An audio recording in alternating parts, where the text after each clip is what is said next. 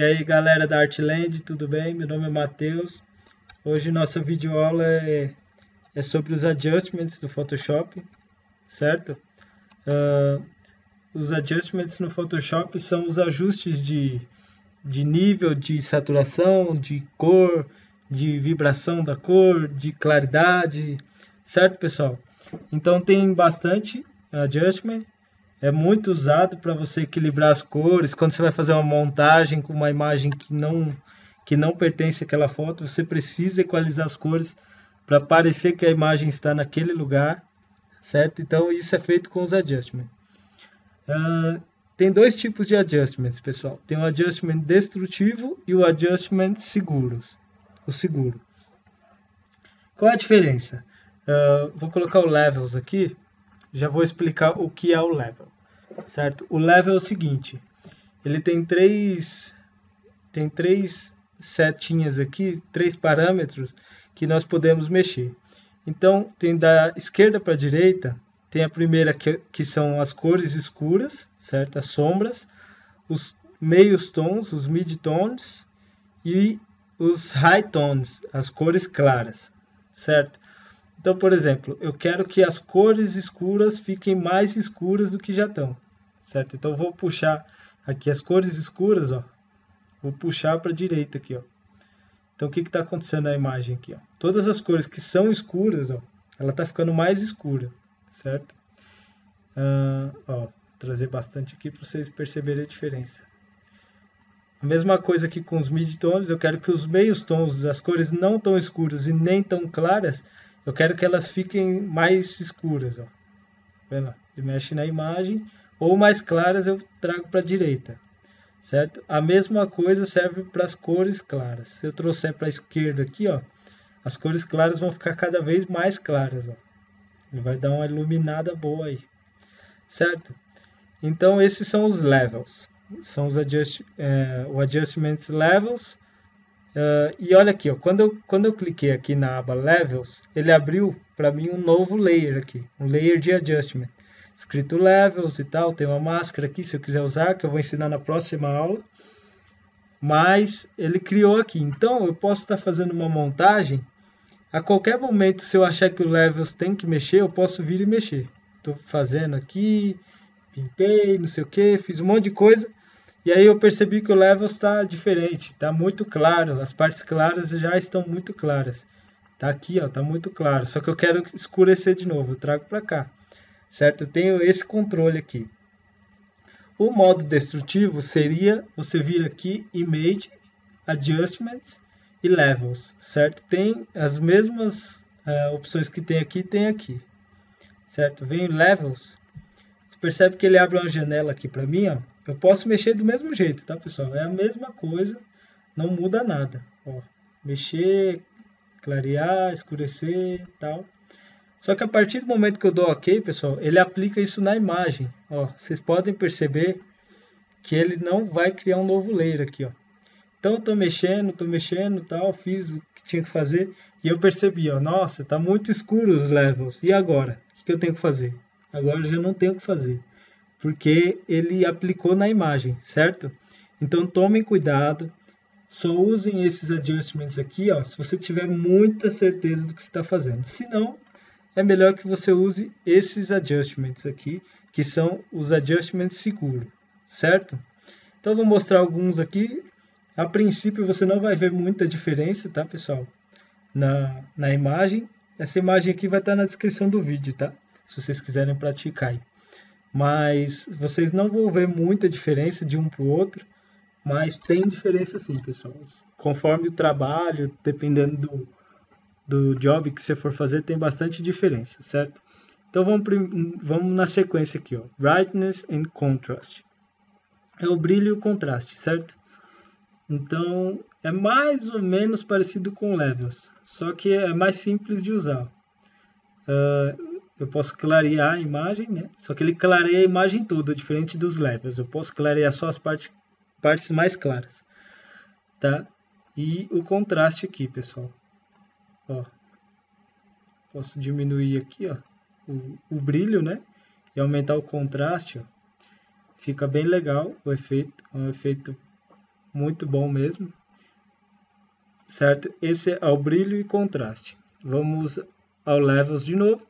O Levels, como eu disse, você pode clarear as partes mais claras da imagem ou escurecer as mais escuras e por aí vai. Você consegue mexer nos canais de cores, né? Por exemplo, aqui, ó, onde tem essa sombra aqui, ó, eu vou escurecer aqui no Levels, ó. Pode ver que aqui, ó, ele escurece mais do que aqui, ó, na parte clara, certo? Ó. Aqui praticamente nem muda nessa parte clara aqui da pele dela, mas quando eu aumento, ó, ele mexe só na parte escura, ok? Então, você pode mexer nas cores aqui, tá? Uh, vamos colocar red aqui, ó, vermelho. Eu posso mexer no canal de cor do vermelho só. Então, ó, onde tem vermelho aqui no batom, por exemplo, ó, uh, eu acho que eu preciso escurecer um pouquinho mais esse vermelho. Ó. Eu vou mexer aqui, ó, só que automaticamente ele mexe nas outras cores, tá? Então você tem que tomar um pouco de cuidado, ó. Por que ele mexe nas outras cores? Porque você está mexendo em uma cor que é unida a três juntas, certo? Então eu estou mexendo aqui, ó. Ele mexe no vermelho, mas ele também mexe nas outras cores. O Levels não é a melhor ferramenta para fazer isso, ok? Vamos excluir aqui. Vamos para o Curves. O Curves é também mais ou menos igual ao Levels, só que o Curves você pode fazer as curvas aqui, ó, certo? Por isso que se chama Curves. Então, ó, aqui ó, tem um gráficozinho aqui. Ó. Essa parte aqui é a parte escura da imagem e vai subindo aqui para a parte clara, certo? Ele tem um, uma linha aqui na diagonal. Então, eu vou clicar aqui nessa linha. Ó, ele criou um ponto ali para mim. Então, que que eu tô, que que eu, para que serve esse ponto? Ó?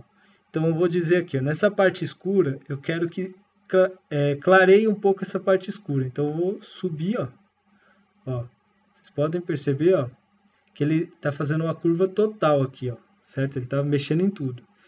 Ó, eu clareei, quero clarear a parte escura ali da imagem. Clareei aqui o cabelo, tá muito escuro, eu clareei. Só que clareou a imagem toda. O que, que eu faço agora? Eu posso vir na parte clara aqui, ó, que ele está para cima dessa linha diagonal que é o centro. Posso clicar aqui, ele vai criar outro ponto. Eu posso trazer para baixo aqui, ó, certo? ele vai fazer mais ou menos o efeito do, do brilho e contraste, ok? Ó, eu posso fazer quantos pontos for necessário para mexer na minha, na minha, na minha imagem, ok? Ó. Então é mais ou menos parecido com o Levels, só que esse aqui você tem um pouquinho mais de controle pela questão da curva, ok? Então vamos, vamos para o próximo, que é o exposure. O exposure nada mais é do que a exposição à luz. Então esse daqui só vai mexer na luz mesmo. Se eu diminuir, ó, vou diminuindo, a exposição à luz vai abaixando até a hora que fica totalmente preto. Se eu aumentar tudo, também ele vai ficar tudo branco. Vai ficar só com uns risquinhos aí, certo? Como se tivesse uma luz muito forte nela, ou tudo apagado. Então, isso daqui é mais ou menos a luz do ambiente, o offset também tem a ver com a luz, ó. só que aqui o offset é, o, é a luz que pega nela. Então, por exemplo, aqui eu mexo na luz geral, certo? Na exposure. E o offset eu mexo na luz que está pegando nela, na, na nossa atriz aqui, modelo, ok? E o Gamma Correction, que também tem a ver com o exposure, certo? Vamos para o próximo. Próximo é o Vibrance. O Vibrance o que, que é? É a vibração de cores. Ok? Então eu posso, por exemplo, deixar muito morta essa imagem. Por exemplo, diminuir o Vibrance. Ó, você pode ver que ela ficou quase um preto e branco. Ela ficou só nas partes que tem muita cor mesmo que ela ficou com cor. Você pode perceber aqui, ó, na boca, ficou rosa, mas bem pouco. Então essa foto está bem apagada, certo? Eu tirei toda a vibração da cor. Do mesmo jeito eu posso colocar a vibração da cor. Estava aqui no zero, vou colocar em 100. Ó. ó já deu bem mais vida para as cores. Ó. Então, por exemplo, o zero, você nem percebe que aqui é um azul direito. Então você pode vir aqui, ó, colocar. Ó. Olha a diferença, o vermelho ficou vermelho. Ó, tudo melhorou na imagem, certo? E tem a saturação, você pode aumentar a saturação mais ainda certo? Se você quiser deixar mais forte ainda, você vai aumentando, aumentando, até a hora que ele começa a deformar, ok? Isso daqui tem que ter um pouquinho de sensibilidade. Uh, próximo. Hue Saturation. Esse daqui é um dos mais usados, tá? Uh, é muito bom, muito bom mesmo. É a saturação de cor. Então vamos lá. Uh, eu vou diminuir um pouquinho aqui a saturação. Você pode ver que ela está meio amarelada. Eu vou trazer um pouquinho para trás, ó. Já trouxe a cor para a cor da pele dela mais rosada. E eu vou aumentar a saturação. Vocês podem perceber que eu estou conseguindo mudar a imagem inteira. Ó, se eu tirar totalmente a saturação, fica preto e branco. Se eu aumentar muito, ela vai saturar muito. Tá? Então você tem que ir com cuidado aqui. E o lightness é a é a luz do Hue Saturation, tá? É como se fosse um exposure, só que ele já vai mexer na cor também, tá? E tem a opção aqui ó, no Hue Saturation, Colorize. Essa opção vai mexer somente na cor. Então vou aumentar a saturação aqui para vocês perceberem. Ó, fiz quase um, um efeito de sépia aqui, ó. certo? Você pode mudar, ó, ela vai mexer somente nas cores. Muito usado, Hue Saturation, muito bom. Tá, vamos excluir aqui, vamos para o próximo. Color Balance. É o balance de cor. Isso daqui nada mais é do que um balance de cor. Então, eu quero mais vermelho, trago para o vermelho. A imagem vai trazer mais vermelho. Só que eu quero também diminuir o verde. Então, eu trago para o magenta aqui. Ó. Tá vendo? Eu estou tirando do verde, na verdade. Então, eu estou tirando, ó. E eu quero essa imagem com um pouquinho mais de amarelo. Então, ó, traga para cá. Ó. Já dei um efeito mais vintage aqui para a foto, certo? É o balance de cor da foto. Ok? Próximo é o black and white, preto e branco. Aí você me pergunta, mas por que tem um preto e branco aqui se eu posso fazer isso com Hue Saturation, eu posso deixar preto e branco? Porque aqui você tem mais controle, certo? Então aqui você tem o controle sobre as cores. Por exemplo, reds são os vermelhos aqui. Onde eu sei que tem vermelho aqui na imagem, ó, na boca, por exemplo uh, eu posso diminuir ó, e deixar para preto. Então, dos vermelhos vão para o preto e do vermelho vai para o branco. Aqui, ó. Então, eu quero deixar todas as partes que tem vermelho na foto mais escuro. Ó. Que legal. Então, tem bastante tipo de preto e branco, tá? A mesma coisa aqui, eu sei que aqui é azul, então eu vou trazer para o escuro. Ó. Eu quero que essas duas partes se destaquem. A, a roupa dela e a boca aqui, ó certo? Então eu trouxe aqui. É lógico que ele mexe na imagem inteira, tá? Porque, querendo ou não, tem vermelho na imagem inteira. Você não percebe, mas tem. Só que ele mexe mais onde tem vermelho, lógico. Certo? Então você pode deixar vários tipos de preto e branco. A mesma coisa se eu quisesse deixar essa parte vermelha mais, mais para o branco. Ó. Ficaria, quase não daria para ver a boca. E a mesma coisa aqui, ó, no azul. Deixou bem cinza certo? Então eu consigo mexer no canal de cor específico. Fechar aqui. Tem o Photo Filter. O que, é o Photo Filter? Ele vai fazer para mim um, um, filtro de cor. Por exemplo, uh, eu quero que essa foto ela está no deserto, eu quero que pareça mais quente esse lugar. Então aqui é o Warming Filter. tem vários presets aqui. O Warm Filter é o que? É o filtro de mormaço, de calor, certo? E eu vou aumentar aqui a densidade dele, ó. Você pode perceber que a cor aqui, ó, a cor é uma cor laranja. Você percebe, lógico que eu aumentei muito aqui, mas se você aumentar um pouquinho, ó, você consegue perceber que é uma cor quente, certo? Parece que está quente no lugar dessa sensação. A mesma coisa o cool aqui, ó. Cooling Filter, certo? É o filtro de como se fosse frio. Ó. Se você estivesse editando uma imagem ela na neve aqui, por exemplo, ó, seria um ótimo filtro para usar ó, e parecia que estava muito frio mesmo. Ok? Então esses são os photo filter. Channel Mixer. Aqui são os mixadores de, de canais de cores, tá? Então você pode misturar, por exemplo, o azul com, com vermelho, com verde e fazendo as cores. Ó. Então, por exemplo, eu estava no zero aqui, eu vou aumentar um pouquinho o azul. Então, ó, ele aumentou a mixagem de cores. Então, onde tem azul, ele jogou mais azul na imagem inteira, inclusive no fundo. Eu vou mexendo aqui, ó, aumentou mais ainda. Tá aumentando. Eu posso diminuir, certo? Isso daqui é, é uma ferramenta muito boa, só que é meio difícil de usar. Você tem que praticar mesmo. Não é da noite para o dia que você consegue mexer nela, ok? Uh, essa ferramenta aqui, pessoal, é uma ferramenta mais avançada, então não vou explicar agora, mas eu vou pegar uma aula para explicar isso daqui. Uh, inverte, ele vai inverter as cores, vai ficar um negócio assustador, certo? Só que ele inverteu aqui, ó, como eu falei, ele inverteu aqui, pessoal. Se eu precisar mexer, ó, precisar voltar na imagem original, ele tem a imagem original para mexer.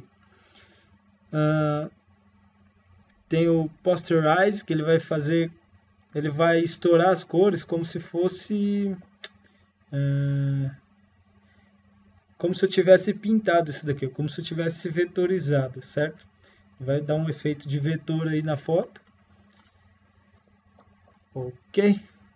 Threshold, ele vai pegar as cores mais fortes e vai transformar em preto e as outras em totalmente branco. E você pode mexer aqui, ó o quanto você acha que está legal. Ó, tem muita gente que usa esse efeito até, é um efeito muito comum de usar. Selective Color. Então, esse daqui é muito importante. Por quê?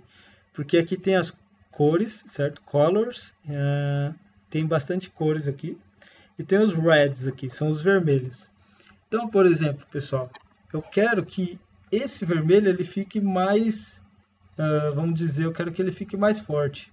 Então eu posso vir aqui no black, ó, mais forte ou mais claro, né? Ó, você pode ver que eu estou conseguindo mexer somente no vermelho, pessoal. Tirei o batom dela praticamente, ó. Praticamente não, tirei o batom dela sem mexer em nada, só mexendo na cor. Ok? Ó, mesma coisa eu poderia adicionar. Ó certo? Coloquei um batom muito forte, olha a diferença, ó. ok? E tirei, ó. Fica mais pálida a pessoa e tal, mas você consegue mexer somente na cor. Mesma coisa os azuis aqui, ó, os azuis, ó. Mexendo só no, no azul. Pode ver que eu mexo aqui para lá e para cá, ó. Você só consegue perceber a diferença na onde tem o azul, certo? Então, esse foi os adjustments, certo? Não use esses adjustments aqui, pessoal. É a mesma coisa, isso daqui só vai te dar problema. Você só usa esse daqui se você tiver muita certeza do que você está fazendo, muita certeza mesmo. Ok?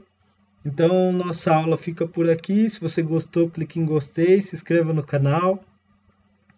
É, visite nosso blog artlandbrasil.com.br, curta nossa página no Facebook. Obrigado e até a próxima.